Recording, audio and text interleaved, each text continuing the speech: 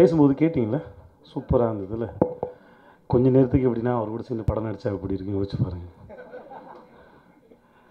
நான் இதுக்கு மேலே ஸ்பெஷலாக யாரையும் பாராட்டணும் யாரை பற்றி பேசணும்னு தேவையில்லை நினைக்கிறேன்.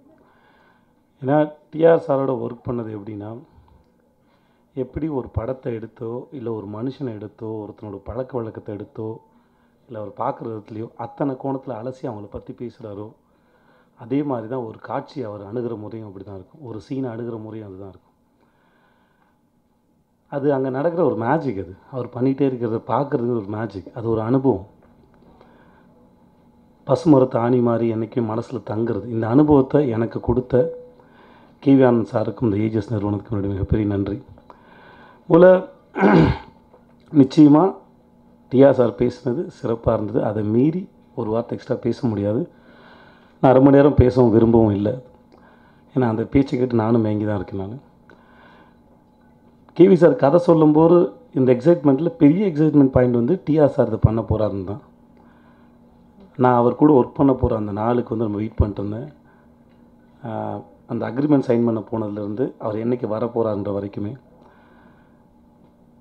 ஆஸ் அன் ஆக்டராக என்னோடய கேரியரில் இது எனக்கு மிக முக்கியமான அனுபவம் நான் நினைக்கிறேன். இங்கேருந்து நான் கற்றுக்கிட்டதை இல்லை இங்கேருந்து நான் எடுத்துக்கிட்டதை நிறைய விதமாக பயன்படுத்த முடியும் நான் நம்புகிறேன் அது. அப்புறம் கேவி சார். எல்லாத்தையும் ரொம்ப தெளிவாக அழகாக ஆழமாக பார்க்கக்கூடிய மனுஷன். அதை ப்ரெசென்ட் பண்ணுற விதம் அவரோட வேகத்துக்கு ஈடு கொடுக்கறது தான் எனக்கு மிகப்பெரிய கஷ்டமே. ஃபஸ்ட் டே ஷூட்டில் அவர் உட்காந்து மானிட்டர் பார்க்குறத மட்டும் பார்த்தேன். அவர் கண்ணை மட்டும் பார்த்தேன். மானிட்டரில் இருக்க அத்தனை பிக்சல்ஸையும் அவரால் பார்க்க முடியுது. அவ்வளோ வேகமாக அவர் கண் வேலை செய்யுது வேகமாக சிந்திக்கிறாரு. எல்லாருக்கும் இடம் கொடுக்குறாரு. எல்லாருக்கும் என்னென்ன என்னென்ன விதத்தில் அணுகணுமோ விஜய் சேதுபியா இல்லை மடோனா செபாஸ்டினா இல்லை போஸ் வெங்கட்டா இல்லை டிஆர் சாரா இல்லை ஸ்கை வாக்கரா யாராக இருந்தாலுமே சரி அவங்கவுங்கள அவங்கவுங்க தனித்தன்மையோடு அணுகிறாரு. நான் பெரிய டேரக்டர் எனக்கு தெரியும் அந்த மாதிரி எதுவுமே இல்லை. ஒரு ஒருத்தரோட இண்டிவிஜுவாலிட்டி ரொம்ப தனியாக மதிக்கக்கூடிய மனுஷன். இந்த படத்தில் வெறுப்பு ஒர்க் பண்ணதில் எனக்கு பெரிய சந்தோஷம் மகிழ்ச்சி. அதோட மிகப்பெரிய லேர்னிங் அது ஒரு சிறந்த அனுபவமாக இருந்தது.